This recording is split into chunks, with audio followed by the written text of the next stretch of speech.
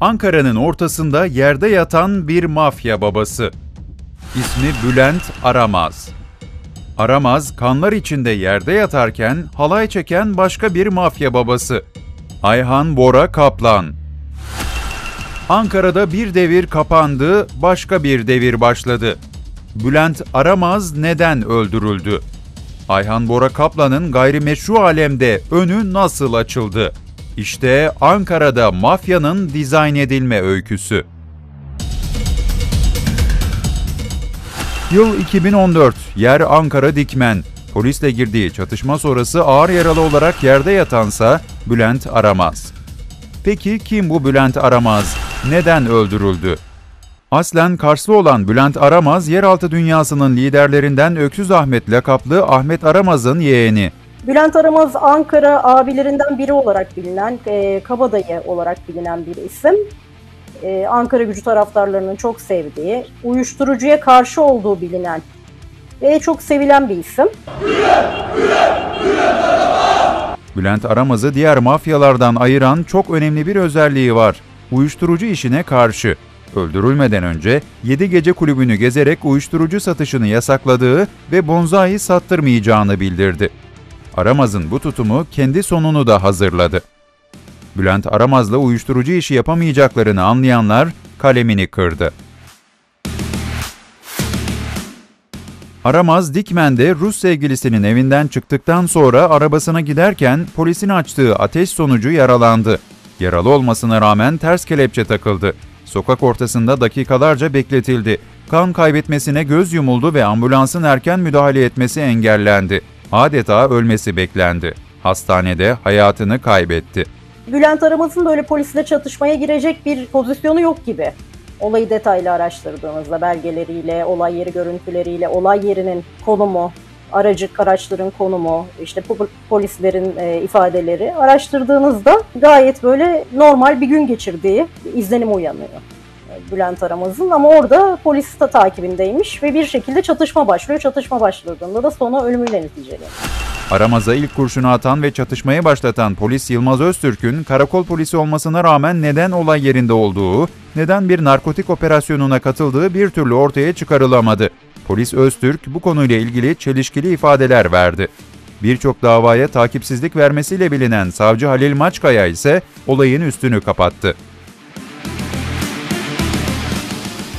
Bülent Aramaz öldürüldükten sonra hemen itibar suikasti başladı. Basına Aramaz'ın bonzai baronu olduğu şeklinde haberler servis edildi. Bu inandırıcı bulunmayınca da FETÖ'cü polisler ortadan kaldırdı yalanı ortaya atıldı. Bülent Aramaz'ın ortadan kaldırılmasından sonra o zamana kadar adı sanı pek duyulmayan Ayhan Bora Kaplan hemen ilginç bir Instagram paylaşımı yaptı. Haramilerin saltanatını yıkacağız. Bülent Aramaz'ın infaz emrini verenler Ayhan Bora Kaplan'ın önünü açtı. Ayhan Bora Kaplan'ın önündeki diğer mafya babaları da tek tek susturuldu. Ceza hukuku uzmanı avukat Dilek Ekmekçi bu süreci şöyle anlatıyor. Ayhan Bora Kaplan büyüsün diye pek çok Ankara abisi piyasadan çekiliyor. Yani Bülent Aramaz'ın ölümünden, öldürülmesinden sonra polisle girdi e, çatışmada. Sadece Bülent Aramaz da değil, Kadir İnan mesela FETÖ'cü denilerek, Ötleşler e, grubu yine uyuşturucu operasyonu mıntıka temizliği mahiyetinde yiyerek adeta bir alan mıntıka temizliği dediğim gibi yapılıp önü açılıyor Ayhan Bora Kaplan'ın. Peki kim bu Erzurum Karayazılı Ayhan Bora Kaplan? Arkasında kim var? Nasıl bu kadar büyüyebildi? Hangi kritik olaylarda karşımıza çıktı? Ankara'da organizenin karşısında yıllarca kaçak CD sattı. Daha sonra Ankara'da uyuşturucu torbacılığı yaptı söylenen bir isim. Ama e, Bülent Aramaz'ın ölümünden sonra hızla yükselip bugün itibariyle Ankara'nın uyuşturucu baronu olarak anılan bir isim haline geliyor. İnanılmaz zenginleşiyor. Böyle bir isim. Küçük yaşta cinayetten dolayı hapis cezası da alan Ayhan Bora Kaplan biraz para yapınca kendine bir gece kulübü açtı. Ankara'da hızlı yükselmenin nasıl olduğunu kısa sürede çözen Kaplan, Süleyman Soylu'nun bürokrat yeğeni Sadık Soylu ile arkadaş oldu, beraber iş yapmaya başladı. Ankara Balgat'ta bir nargile kafe. Sadık Soylu bu kafeye ortak. Ayhan Bora Kaplan ve Soylu burada tanıştılar. O zaman Süleyman Soylu Çalışma ve Sosyal Güvenlik Bakanı'ydı. Sadık Soylu ve Bora Kaplan tanıştıkları bu kafede sık sık oturup Ankara'yı parselleme işlerini görüşüyorlardı.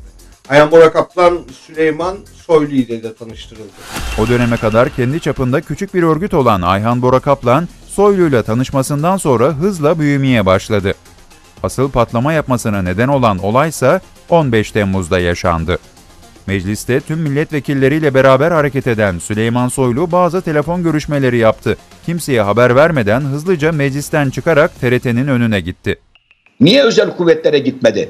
Neden Emniyet Genel Müdürlüğü'nün önüne gitmedi? Oradan çağırmadılar. Neden TürkSat'ın önüne gitmedi de TRT'ye davet edildi? Yani orada kürsülere çıkıp konuşmalar. Burada kimler vardı yanında? Peki, Bu tam- HTS kayıtları çok önemli. Yeğeni Sadık Soylu'nun telefonundan Ayhan Bora Kaplan'ı aradı. Emniyetin dağıttığı silahlardan alarak adamlarıyla birlikte TRT binasının önüne gelmesini istedi. Ben bunu iddia ediyorum. Eğer Süleyman Soylu çıkıp yalanlayabilirse yalanlasın. Ankara Adliyesi'nde 15 Temmuz 2016 gecesi uyuşturucudan sabıkası olan Ankara Narkotik Şube'nin takibinde ve dinlemesinde olduğu için Süleyman Soylu ile Ayhan Bora Kaplan arasında yapılmış telefon görüşmesinin kayıtları Ankara Adliyesi'nin emanetinde duruyor. Ayhan Bora Kaplan narkotik şube tarafından takip edilen ve telefonları dinlenen birisi olduğu için Sadık Soylu'nun telefonu üzerinden Ayhan Bora Kaplan'la görüşen ve adamları toplayıp gelin talimatını veren Süleyman Soylu'nun konuşmalarının kaydı Ankara adresinde arşivde duruyor. Elbet bunlar ortaya çıkar. Yani Süleyman Soylu bunu yalanlasın. Eğer ki kanıtlığı yok diyorsa da hep beraber gidelim arşivden çıkaralım Ayhan Bora Kaplan dosyasını. Tiyatro darbe bitti, akıllarda geriye Ayhan Bora Kaplan ve ekibinin TRT önünde otomatik silahlarla verdiği bu poz kaldı. Soylu 15 Temmuz'da TRT'de yaptığı şovla İçişleri Bakanı koltuğuna oturdu. Türkiye'de her tarafta meydanlara çağrımız var.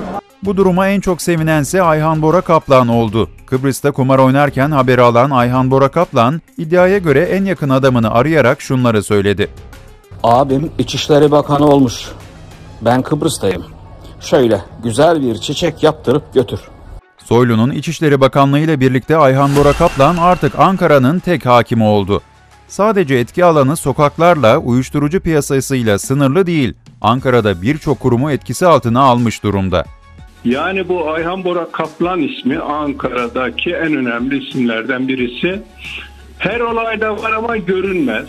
Evet. Ee, kendisi Süleyman Soylu'nun oğluyla kanka, kanka. Çünkü Ankara Adliyesi'nde birkaç yıl öncesine kadar bir işiniz var ise Ayhan Bora Kaplan'a gidiyorsunuz.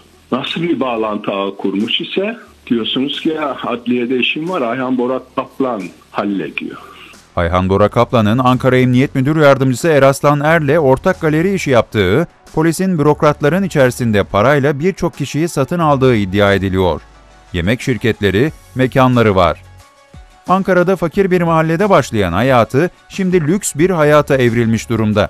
Yatlardan, katlardan storyler paylaşıyor.